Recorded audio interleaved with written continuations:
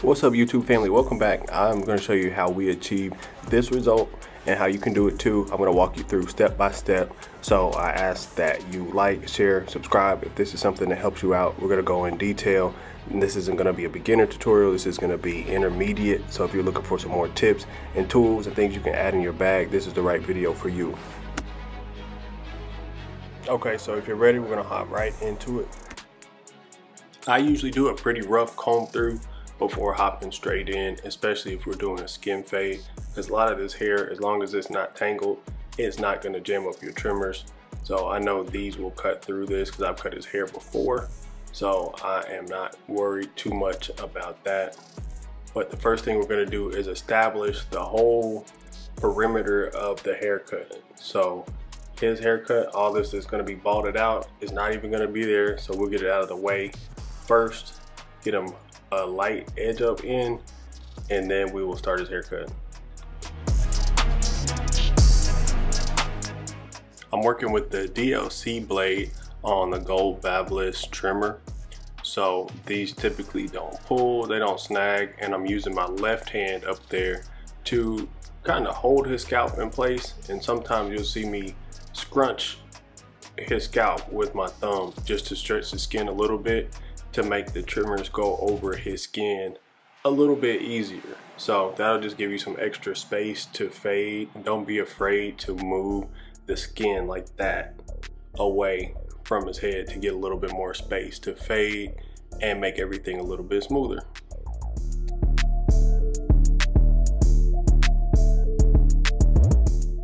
So we're going to set this bald line in from the middle of his vertical bar and taking it back to the middle of his occipital lobe. So we don't want it to drop too much and we have a very, very slight curve. So he wants to keep that pretty straight, just with a small curve. And we just want that to graduate with that vertical bar all the way up to the top of his parietal ridge.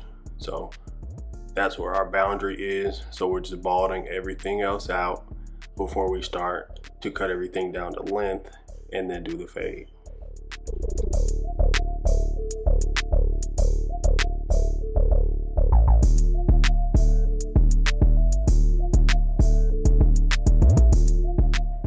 So there goes that last strip in the back. Some people like to go back in detail, but I really like to clean up as much as I can as I go so that I don't have to repeat steps in the process. So what I'm gonna do here is just clean this up a little bit now that we've gotten all the bulk off so that when we go back and do the final detail at the very end, we don't have as much work to do.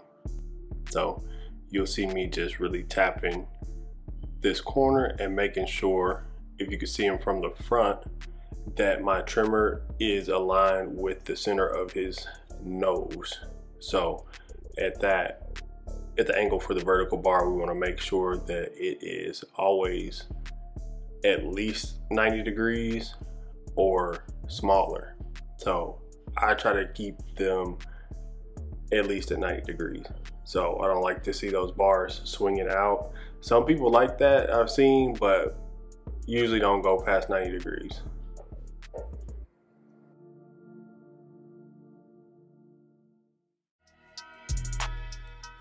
Okay, so now his whole haircut is outlined with the trimmer. So now all we gotta do is color in between the lines. So we're gonna knock this top down to the length and then we're gonna put the fade on it and then we're gonna edge them up. So pretty simple, pretty straightforward, couple steps. So knock all this down to length. This is a zero guard with the grain. It's a style Stylecraft zero, so it's actually a little bit longer than the Wahl zero and it's got longer teeth. So it gives me a little bit more control and I actually know exactly what length he likes his hair at. We talked about it before. So Stylecraft Zero with the grain and then we'll go back and I'll show you how we keep everything in his crown the same length even though it grows out in a whorl pattern.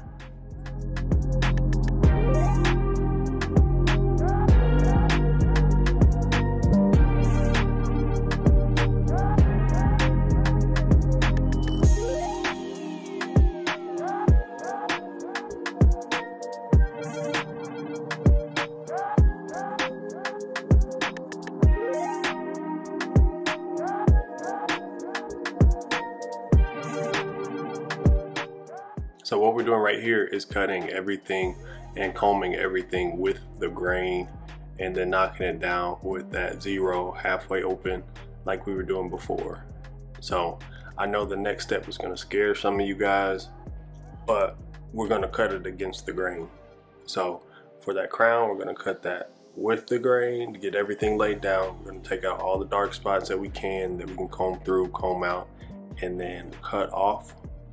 But the next thing we're gonna do, I'll show you here in a sec, is to comb everything to make sure that we get it down to the real length and make sure that that crown's not gonna start sticking up. So we're combing that against the grain and combing it back with the grain just to see which way those hairs like to go. So be patient with it and then just make sure that everything blends the way it's supposed to.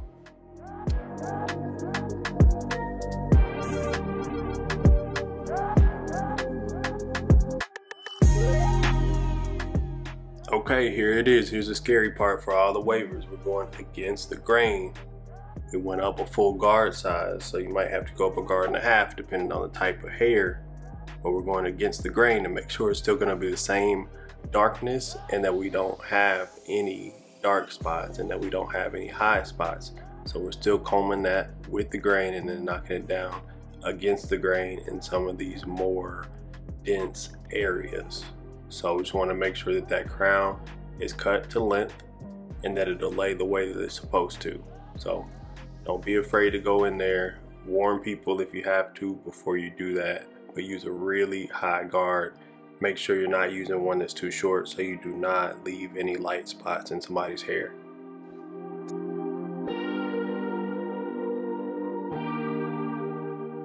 So there's a couple dark spots we knocked down against the grain too and then we're using the smallest part of our barber comb to comb everything back in where we're about to start fading.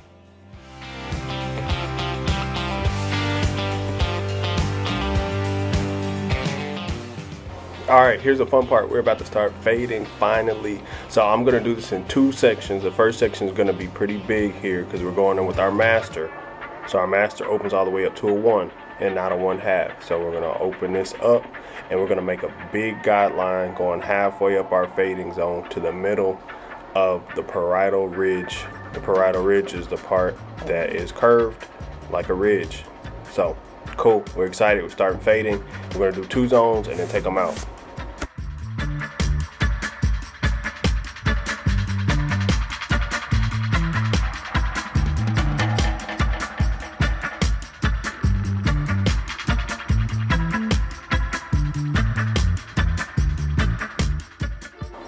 So I like to work with the shape of the head to figure out where to put my guidelines depending on the shape of that person's head and their skull structure. So that just makes it a lot easier for you to understand where to put your guidelines and making sure you're not just putting them on there randomly to create a fading zone that has nothing to do with the shape of the head. Unless you're doing it on purpose, which is fine too.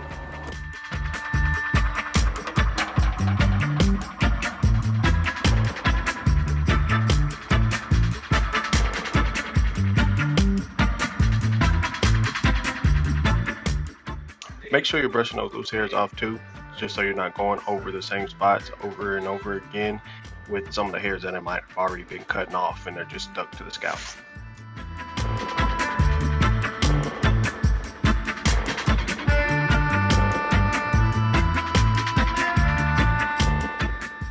After you get all the little hairs brushed out to make sure that everything is even, let's go back and detail it before you move on to our next fading zone.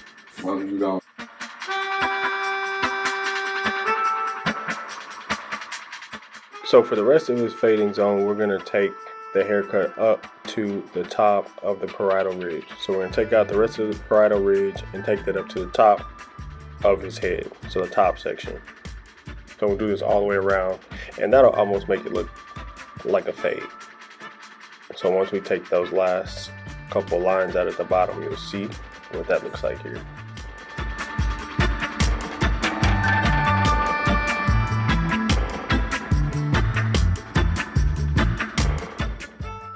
So you'll see me going back here and knocking these hairs down to make sure they're all the same length. So you got to use a couple different angles based on the way they grow.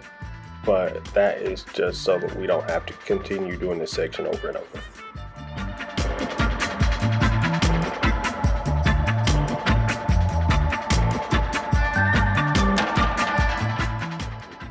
So the next thing we're going to do is start with our clipper all the way open again. So this is a different clipper. It opens to a half and I'm starting with it all the way open just to make sure that we're not making any lighter spots than we want. So now that we see where our one open will go, so that's taking us up, we're going up halfway of the original fading zone. So I'll put that in here and then we're going to close the clipper up and do a little bit more detailing just to take out that bottom line. So I only fade with two zones at this point. So that made it simpler for me, just knowing that I have a lower zone and a top zone. So hopefully that helps simplify it for you. And then you'll just blend over them to make them connect. And for removing that bottom line, we're gonna go one click out from all the way closed. So that should still give us a soft line and it'll give us room to apply some pressure instead of closing our clipper up all the way off the jump. So we're stretching that skin with the thumb and then we're applying a little bit of pressure just to work out some of that line as we need to. We'll take it with the grain to get any hairs that are sticking up.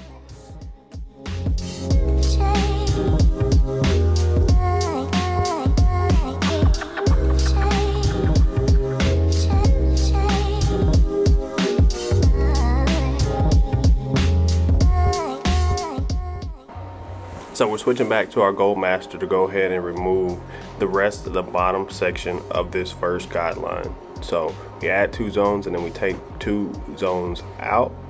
So uh, that's what we're doing right here. I think we're gonna take the rest of this bald line out with the trimmer. But we're doing some detail work here and we're mostly just taking the beginning of that fade zone out and leaving ourselves plenty of room to make sure that we can keep that extra blurry.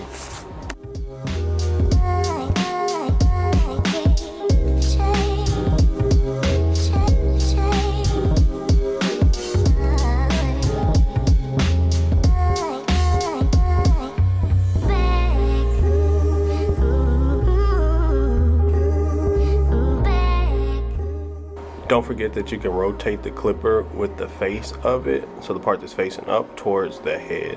So once you get past the very uh, apex of the comb part, you'll start cutting closer and closer and closer on the front facing side of the clipper as well. You can get that thing all the way down to skin just by rotating the clipper.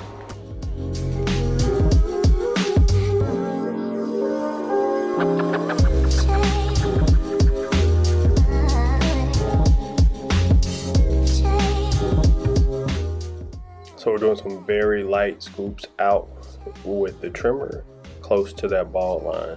So some of that, and then we're using the corner just to also paint in some lighter spots to get a little bit more contrast. So we're all just detailing through this section and we're gonna do that all the way around the head.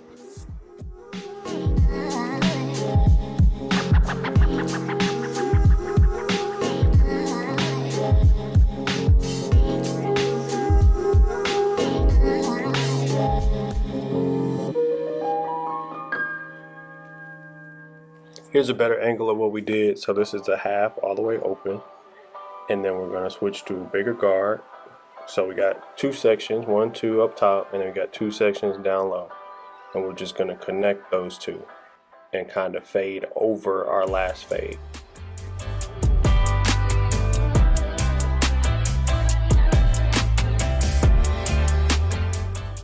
So from here, we'll just repeat the fading steps across the back and on the opposite side, and then we'll go ahead and get him edged up in the front.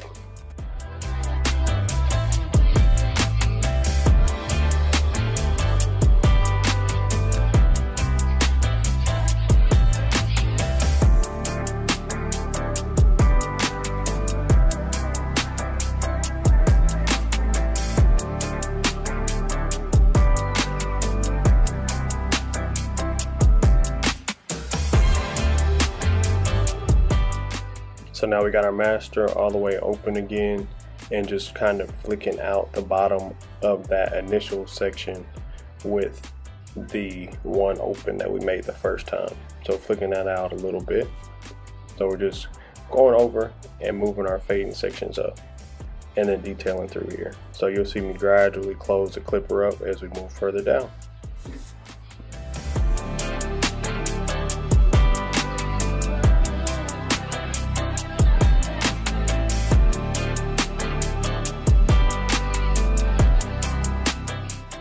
So here we got the clipper all the way closed up and you're gonna see me rotate the palm of it forward before we switch to our trimmer to take the rest of that line all the way out. That's why we didn't put a very hard line in the beginning because it just saves you time not fighting to get it out. You can apply a little pressure or you could just use a shorter blade to get that thing out.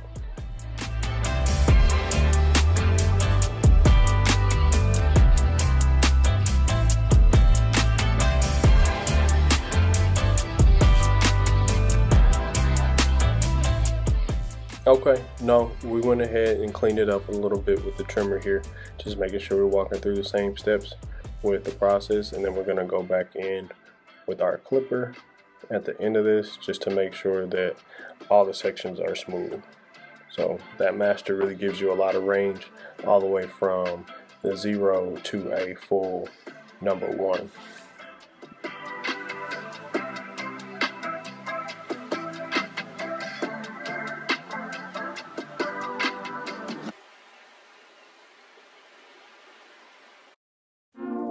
Since his skin is clean, we're doing a basic three-step process for his edge up.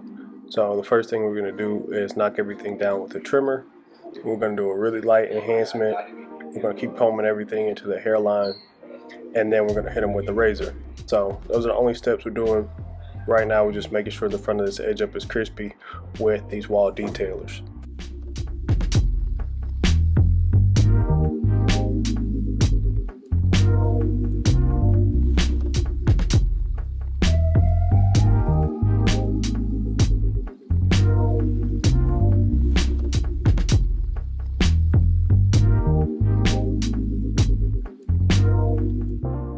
So as you see, I'm gonna grab his head with my left hand and I would definitely recommend making sure that you keep the client stable when you're doing the corners, just in case they move around or um, you know, anything itches or they got a sneeze. Just go ahead and hold on to their head and don't be afraid to rest your knuckles uh, on their forehead when you're gonna go ahead and get these vertical bars all the way into the angle you want.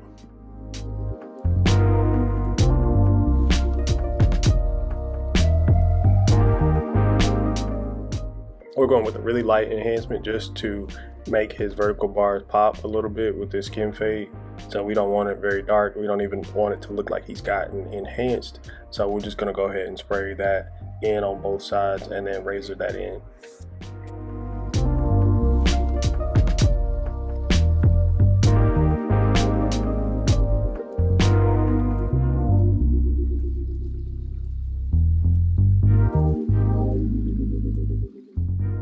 So I just wanted to put a side note that we wanted his fade to look halfway faded in the middle of the vertical bars on each side. So that's the target we were going for, working with that occipital lobe the way that it is.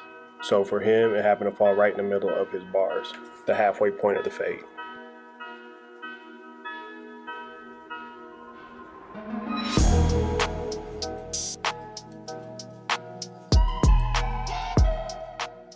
The next thing we're going to do is just knock the front of his hairline down just a little bit before we go ahead and razor him in.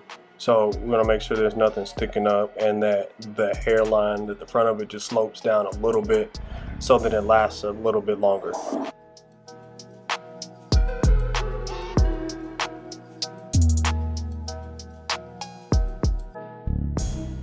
So we start off razoring in his vertical bars. We'll do the one on his right, our left, and then we'll do the opposite one before we just connect them across the front.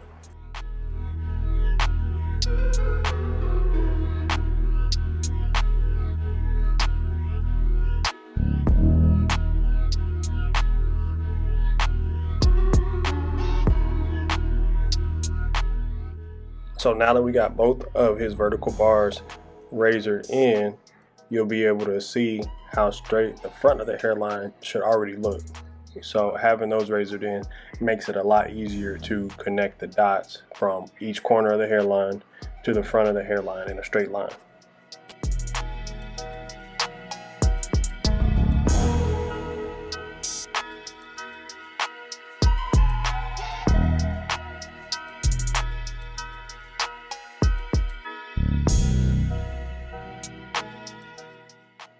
We're starting in that left corner on his side and we're just to follow that hairline all the way across the front. And then once we get done with that, we're to clean up his forehead with the razor all the way down to his eyebrows. Just so all of that hair, all that space is as clean and as crisp as possible to match your haircut.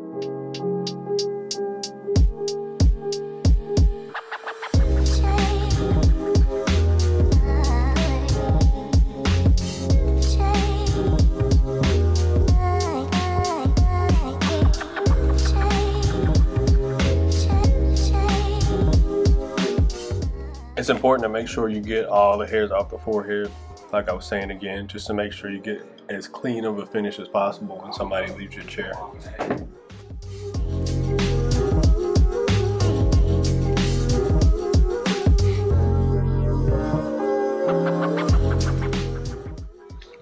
You also want to make sure you get any flyaways with the shears, if there are any left at this point off the hairline. So just making sure that you don't miss any little details as far as having everything laid down and clean.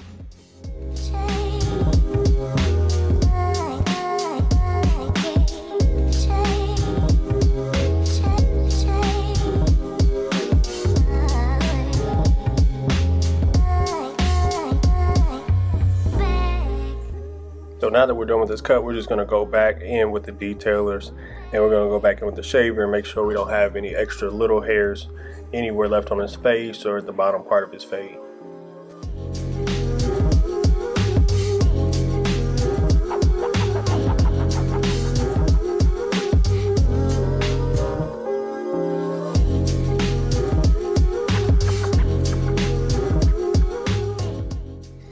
And for the people saying that you can't use a shaver on black people, it depends on where. So I would not go up any further on him because of where his hair starts to be a lot more curly. So I'm not digging in, being gentle, just taking the stuff that's sticking out of the pore, not digging in too deep with that shaver. So it's safe, not in the back, just on the sides and cheeks.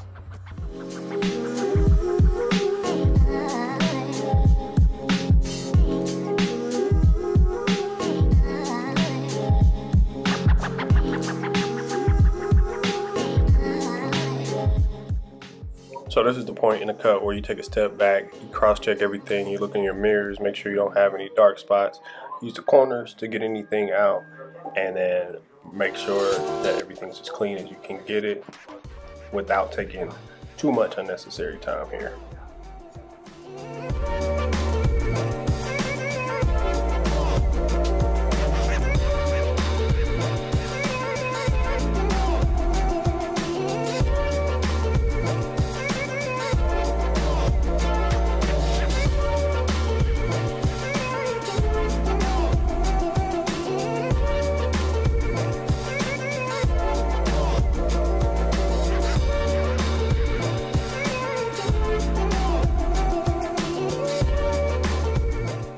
Hey, if you made it to this point in the video, I really appreciate you watching. We're just gonna blend everything else in in any of these transition zones right here.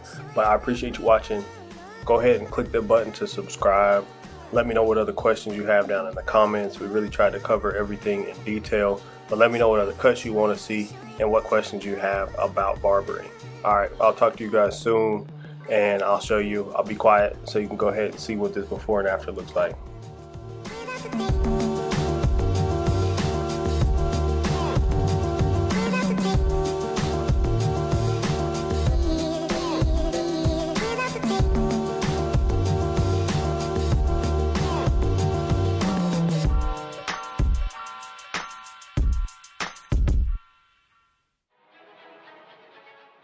all right y'all this is after this is after we're done with everything and I'm gonna swap back and show you what he looked like before right here